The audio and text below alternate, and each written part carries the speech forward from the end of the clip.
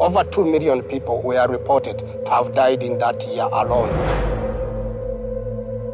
The whole of Africa was being taken for a ride. It's fine for people in rich countries to say this is what it ought to be. They don't have to live in these little villages and watch people die like flies. Where are the drugs? The drugs are where the disease is not. You fight our patent monopolies, we will make sure you die.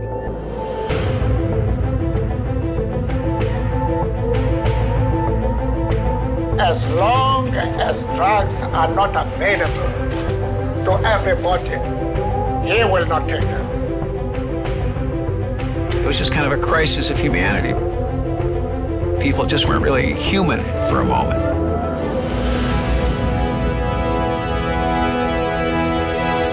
Wanted to know where you could get the raw materials to make the AIDS medicine. There was 30, 40 million white people that didn't have access to treatment. It would be the most important question you could possibly imagine. The raw materials are all controlled by the multinationals. People are dying and the medicines are in my briefcase. South Africa goes, India goes, Brazil goes, Thailand goes, Argentina goes. We are never going to stop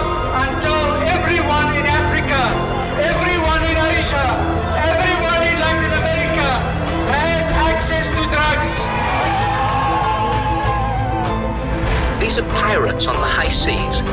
Am I the thief or are they the thief? That's the question I'm asking you. Those who didn't die, they must thank God.